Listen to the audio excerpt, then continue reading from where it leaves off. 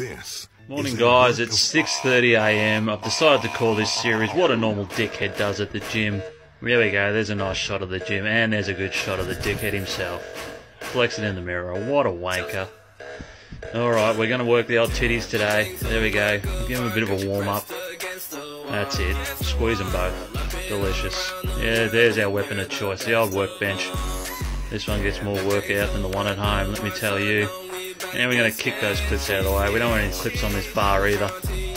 No clips on the bar. We're trying to be safe here. We've got no spotter because it's 6.30am and there's no other bastard in the gym. And here we go. We just had to adjust the old guts before it was sticking out.